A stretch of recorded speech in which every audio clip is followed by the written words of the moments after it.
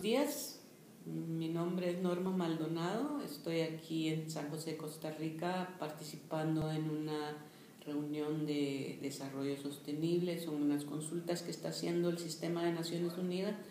para luego ir eh, eh, redactando las metas que seguirán las metas del milenio, lo que sigue después, que sería después del 2015. Eh, desafortunadamente lo que yo veo como guatemalteca, como parte de la sociedad civil, es, que eh, los derechos que están exigiendo las empresas para seguir la explotación eh, de la tierra, que ya ha sido probado que no es sostenible, creo yo que no es eh, una,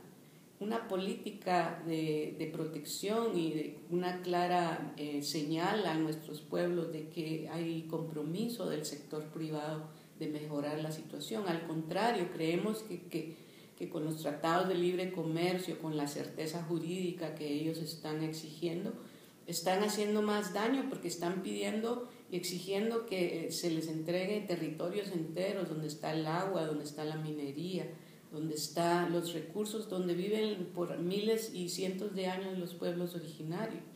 Entonces, eh,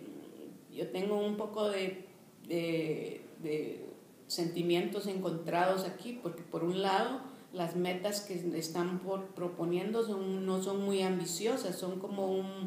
como ponerle parches o curitas a un sistema que ya dio señales que está colapsado, que no da más. Sin embargo, estamos poniéndole más parches a, un, muerto, a algo que ya no, no tiene para dónde. La, el, el desarrollo que se está proponiendo es inalcanzable de la manera que, que está hasta ahorita. Entonces, sorry.